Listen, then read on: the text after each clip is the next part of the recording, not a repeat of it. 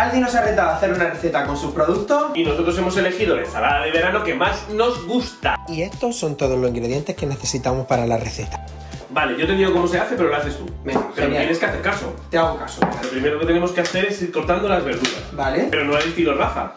O sea, quiere decir más chiquito. ¿no? Chiquitito, eso es. Aquí llorera con la cebolla. Pues tengo un trucazo. ¿Cuál? Si pones un papel mojado aquí al lado, ¿No llora? A ver. ¿Eh? Es verdad. Qué fuerte. Ahora echamos los garbanzos. Genial. Así como un poquito, Ya. ¿no? En plan. Ya, ya, ah, ya. sí, genial. Yo voy preparando la salsa. Venga. Vale, pero que no pique mucho. No te preocupes, que no pica. ¿En serio? Sí, sí, sí. Entonces, Sergio, que no piquen, ¿no? Para el aderezo necesitamos fresa, vinagre, aceite, pimienta, miel. Trituramos muy bien. Vale, echamos los damames. Unos poquitos de frutos secos. Y ahora colocamos nuestra ensalada en una hoja de lechuga. Ahora solo queda disfrutar y comer tu ensalada favorita. A ver qué tal. Chin, chin. Mm, muy bueno.